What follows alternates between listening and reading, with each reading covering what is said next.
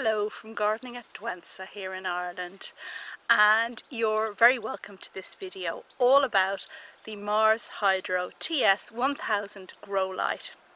But this isn't just a video that I have to make because someone gave me two free grow lights.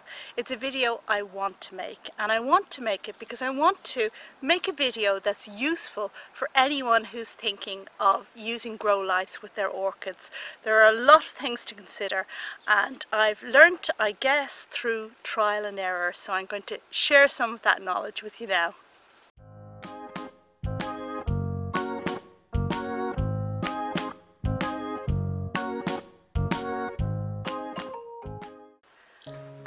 So by way of introduction for anyone who's new to the channel, I want to say that I'm Rachel and I have grown orchids for very many years on windowsills in my home in Ireland without use of grow lights or any other artificial means to get them to flower and I've been quite successful with it and I've published a little e-booklet which goes through how I actually do it. And more recently, I've acquired grow lights, which I've used to try and get my more stubborn species Cattleyas to flower. And I've learned a few things about it, which I'm going to share with you now. There are several factors to consider when using artificial light for orchids and the first of course is the colour spectrum and if you use any good quality grow light like the Mars Hydro TS1000 then you're guaranteed almost a full spectrum of colours and this is what plants need to flower. It's the quality that they would get in nature and that good grow lights replicate. But the second thing that you have to consider is light intensity. And light intensity is measured by lux in Europe and by foot candles in the States. It's easy to find conversion tables online, but for the purposes of this video, we're going to talk about foot candles because a lot of the information about orchids comes from the States and therefore the reference is to foot candles. If orchids have insufficient light, then they may fail to flower and we grow them for the flowers in the first place. Also, they'll produce very thin leaves and weak growth.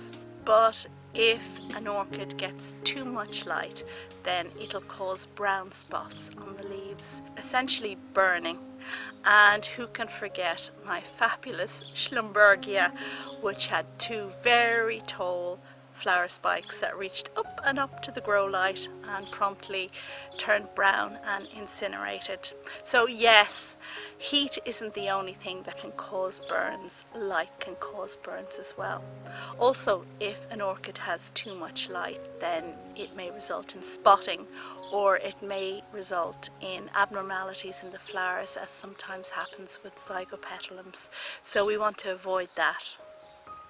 So if investing in a grow light, my best piece of advice to you is to get a lux meter.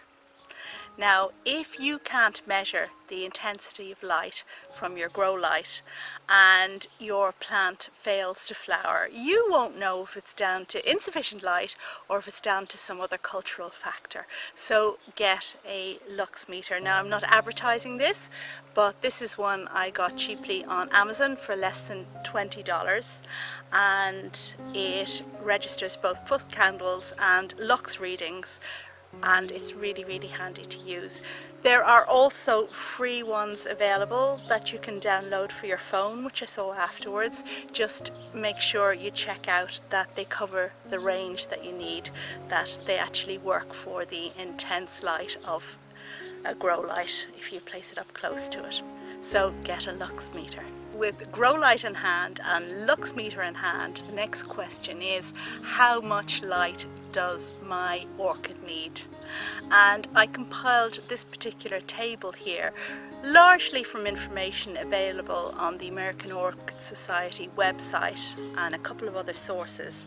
And I have filled in for the majority of orchid genera, the most common ones anyway, the light ranges that these specific orchids need to flower. Now, anecdotally, we've all had success at lower levels than are written here in this table. But we need to remember that more people have failed at lower light levels than these than have actually succeeded. And another thing to remember is that these are ranges. So a range can include plants of different sub-ranges. So for example, the Cattleya, as you can see on this particular table, takes a light range of 2,500 foot candles to 5,000 foot candles, which is actually quite an enormous range. But included in that range is Cattleya skinneri.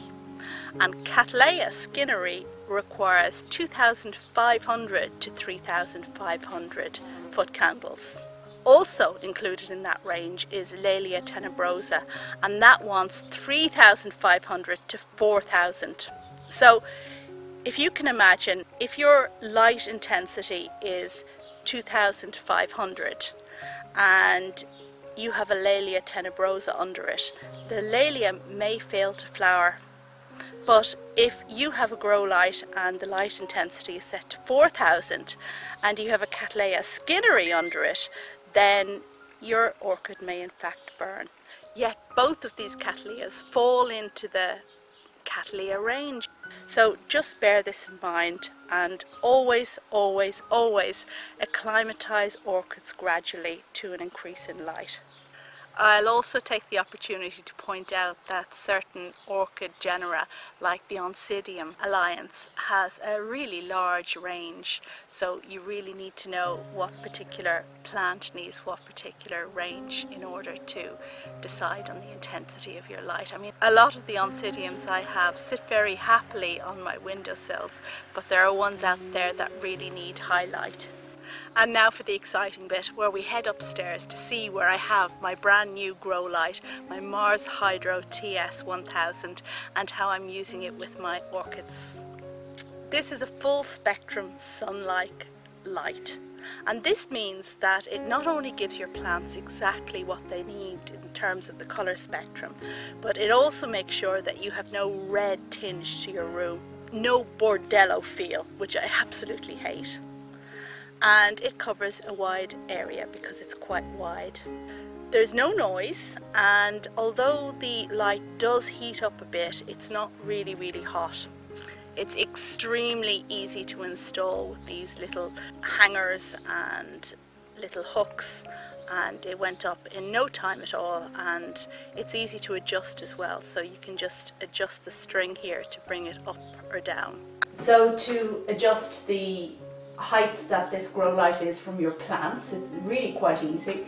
Just uh, hold the light here and you can just tug with this string here and it goes up which is really easy and then to bring the grow light down there's a little knob up here which you press up just holding the weight of the grow light press it up and then the grow light comes down very easy. And another great thing is that this grow light comes with a dimmer switch. And it's a dimmer switch that's on the outside so you can actually adjust it without taking the light down and taking off the casing and going through a whole rigmarole. So it's easy to adjust from 10% to 100% but you do need a very skinny screwdriver and that's just a tip I'll give you if you want to adjust it make sure you have one of these skinny little screwdrivers on hand. Finally the grow light has a daisy chain function so you can connect up to 10 lights together. The dimmer switch was really handy when it came to acclimatizing my orchids to their new grow light and I started off with the light intensity quite low gradually increasing it every couple of days without taking the light down and now we have the light at full intensity. As you can see, I've chosen to grow Cattleyas underneath my grow light. And these are the few that I'm starting off with to see how we go. Now I have Cattleyas not particularly species highlight ones, just ordinary ones. And although the original idea with the grow light was to have one that would facilitate the flowering of my species, what's also happened is that I have a lot of cattleyas and I have nowhere to put them. So this particular spot with this particular grow light just allows me to have a few more plants in my collection. Now, as you see, this spot where I have the grow light and where I have the cattleyas has no other natural light. There is a small window far away, but generally what we're relying on here is the Mars Hydro TS1000 to provide these plants with all the light they need. So now I'm just going to show you how I use the lux meter and I'm putting it over here so we don't get mad reflections and light on the screen. Now it's switched off at the moment. I switch it on by pressing this red button and just wait until it stabilizes and I mean by that start showing a reading. Now you can see that the default measurement is the lux measurement. It says LUX up here and the numbers are fluctuating all the time because obviously the light is changing. I'm kind of putting my head in between where the light source is and not. So I want to look at the foot candle reading because that's what we've been talking in up until now. I press the mode button once and that FC there means that we are now getting readings in foot candles and they're very low because we're over here in a dark corner. So let's go and have a look underneath the plants. Let's just see what light these plants are getting by placing it underneath here.